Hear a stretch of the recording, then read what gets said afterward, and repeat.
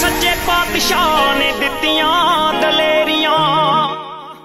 ਉਹ ਹਿੰਡ ਪੱਕੀਏ, ਨਾ ਢਾਈਏ ਕਦੇ ਢੇਰੀਆਂ। ਹੋ ਮਾਣ ਜੱਗ ਤੇ ਵੀ ਖੱਟਣਾ ਜ਼ਰੂਰ ਆ।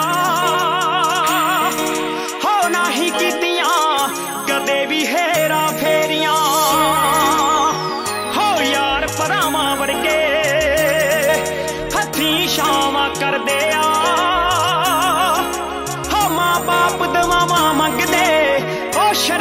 ਤਾਂ ਰਹਿੰਦੇ ਸੜਦੇ ਆ।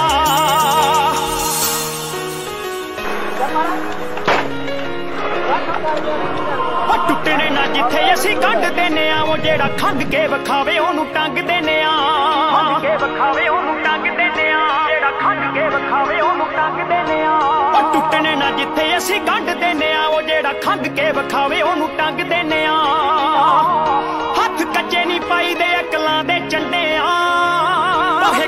ਇੱਕ ਕੇ। ਉਹ ਇੱਕ ਠੋਕ ਕਹੀਦਾ ਸਰਦਾਰ ਬੰਦਿਆਂ।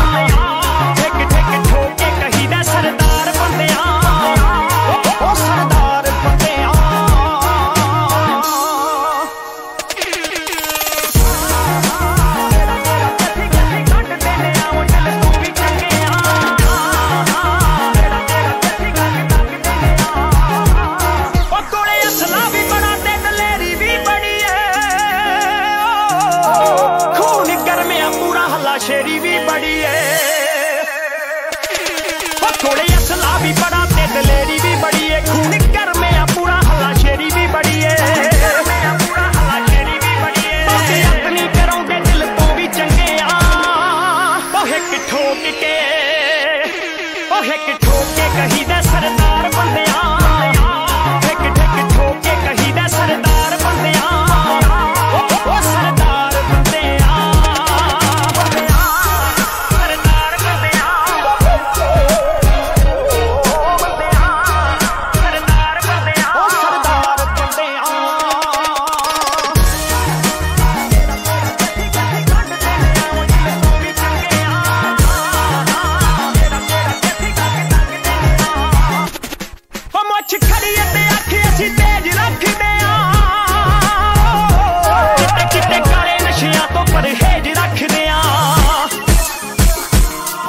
ਮੁੱਛ ਖੜੀ ਅਤੇ ਅੱਖ ਅਸੀਂ ਤੇਜ਼ ਰੱਖਦੇ ਆ। ਚਿੱਟੇ ਕਾਲੇ ਨਸ਼ਿਆਂ ਤੋਂ ਪਰਹੇਜ਼ ਰੱਖਦੇ ਆ।